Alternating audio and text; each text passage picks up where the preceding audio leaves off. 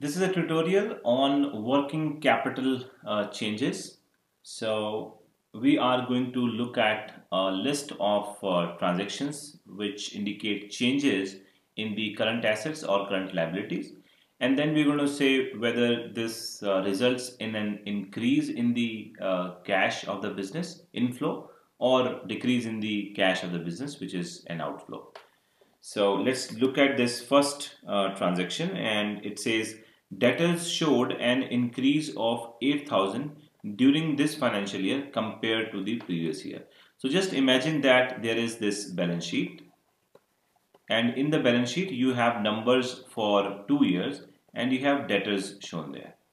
You have 2019 numbers and 2020 numbers and there is an increase of uh, 8000 so let's say debtors were 10000 and now they are 18000 so now there is an increase of 8000 and this transaction here uh, you know is only show, uh, giving the information about the increase not the two balances typically you would be given a balance sheet and using the balance sheet you have to uh, calculate the changes so here we only have the change so debtors show an increase of 8000 during this financial year.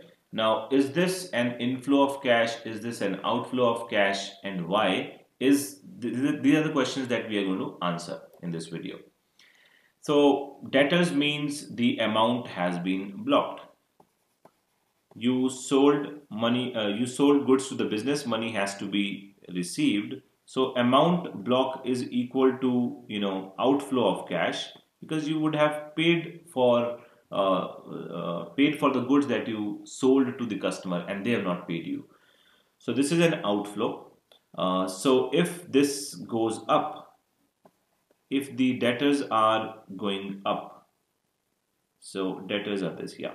So if the debtors go up, if debtors go up, then what is happening is you're selling more, you're not receiving the money, more amount is being blocked which means more outflow. This results in more cash outflow. Alright, in this case, yes, this is what is uh, happening. 8000 rupees worth of more debtors means that uh, there is an outflow in the business. So we are discussing working capital changes. Working capital is made up of current assets and current liabilities. We look at each of the current asset. Uh, we are looking at one type of current asset which is debtors if debtors go up. So the conclusion is if the debtors uh, increase, this will result in an outflow. All right. This is the learning from this slide. All right. Let's go on to next page.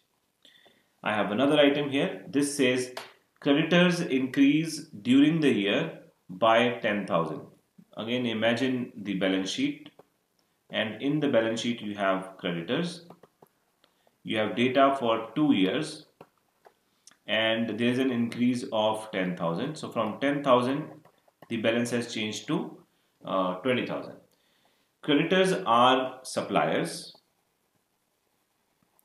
So to you know from these suppliers you purchase you purchase uh, goods raw material whatever else and you have to pay. When you don't pay they become the creditors. So if creditors are increasing so if creditors are increasing so if there are more creditors that means you have saved the money you've not paid to them. So this means that you have saved the money. And in the previous video I spoke about uh, how you can you know think about this that you paid to creditors and creditor came back and said please keep the money pay me after two months right? Then you have the inflow only except that that doesn't happen. You just uh, assume that you save the money uh, you don't need to pay to the creditor which means this is an inflow. Inflow of cash. All right? So the conclusion is the learning from this slide is that creditors when they increase, this results in inflow, inflow of cash. This is the learning from this slide. And let me compare this to the learning from the previous slide where debtors, current assets were increasing and this was an outflow. Here, creditors current liability increasing is outflow. So uh, these are two different things. Increase in debtors is outflow and increase in creditors is inflow. Let's look at another transaction. This is uh, not transaction but another uh, account balance. Prepaid expenses show an increase. Prepaid expenses are shown on the asset side. So prepaid expense had a balance of let's say 200. Now the balance is 400. This was 2019. This is 2020. So there is an increase of 200. So prepaid expense means that you paid in advance. Meaning cash is certainly going out before the benefit is being received. So this means that uh, there is an outflow. There is an outflow. You are paying in advance, the benefit has not been received.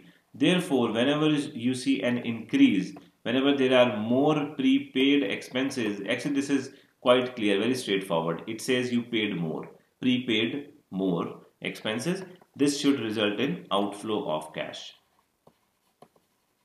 The learning from the slide is that when the current asset named uh, prepaid, prepaid expense, whenever it increases, it is resulting in outflow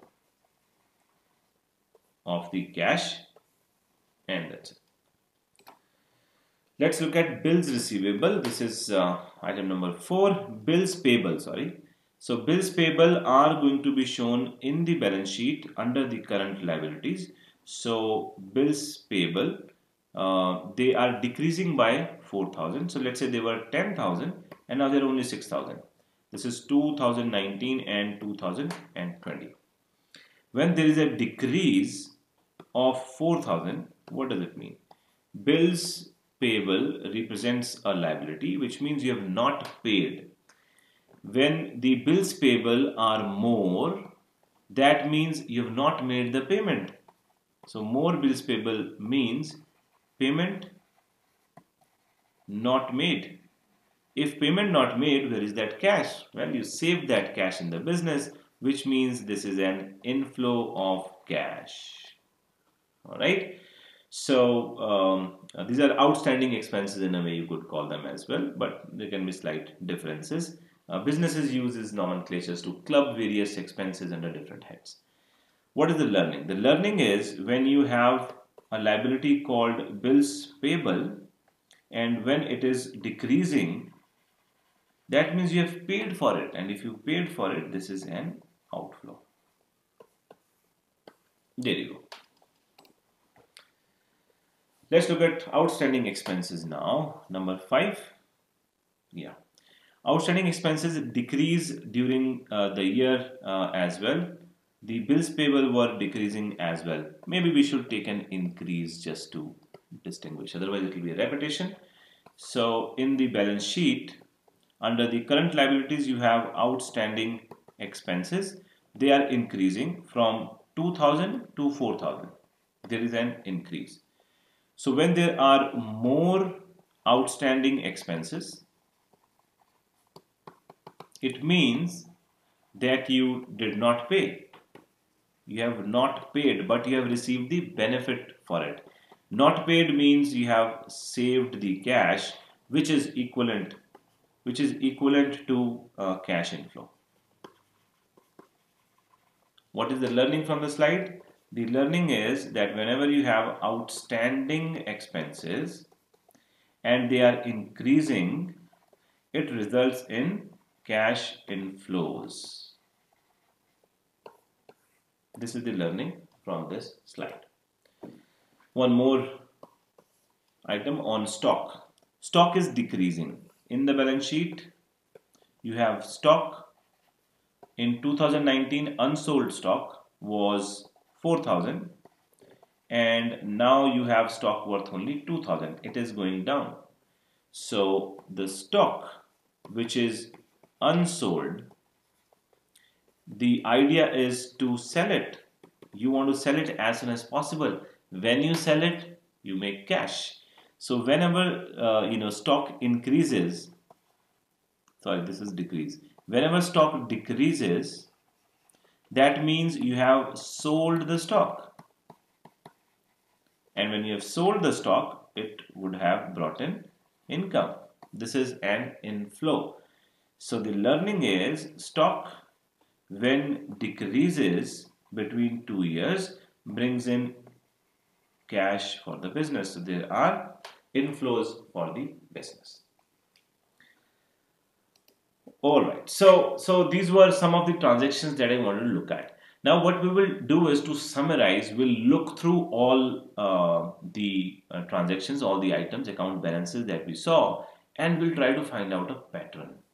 What is the pattern that uh, is being followed? Is there any pattern at all? So let's start with debtors. What are debtors? Debtors are current assets. Current assets increase. Is this an inflow or outflow? Outflow. Alright. Current assets increase, outflow. Then you have current uh, liability. There is an increase and this is an inflow. Then you have a current asset again. This is an increase and this is a outflow. This is a current liability and there is a decrease and this is an outflow. Outstanding expenses are also current liability. There is an increase and this is an inflow. I hope you are seeing the pattern. This is a current asset decrease and there is uh, an inflow. Okay. So there are two uh, categories of uh, items involved in working capital. There are current assets and there are current liabilities. And you know, two change, changes are happening in two directions. Either there is increase in the current assets or uh, current liabilities or there is a decrease in current assets or a current liabilities. So this kind of becomes a two by two uh, matrix. You know, this is how you can understand uh, the changes in working capital in a, in a better way. So what is happening uh, when current assets increase? What is the uh, effect on the cash flows? So we are going to take these one by one. So in this transaction, current asset decreasing is inflow. So current asset decreasing is inflow in transaction 5. Uh, in transaction 6, sorry, this is fifth. Current liability increasing inflow current liability increasing so I should write inflow here. Let's go to number 4 item here. Current liability decrease outflow. Current liability decrease outflow. And number 4 uh, this is done. Number 3 current asset increase outflow. Current asset increase this should be outflow. Two more to go. Number two is creditors. Current liability increase and inflow. Current liability increase. This is also inflow. and the first was current asset increasing and outflow. Current asset increase and outflow. There you go. We looked at six items, one, two, three, four, five, and 6. And this is the trend we, uh, we, we are seeing. If current assets increase, it always results in outflows. All, uh, although, you know, you could argue that there is only one and one here and these numbers are not sufficient. But uh, if you were to take more current assets and current liabilities, you will see the same pattern.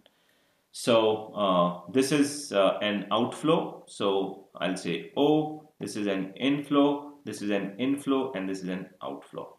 Now you have to figure out a way to remember all of this if you have to prepare uh, the statement, but gradually it should come intuitively to you.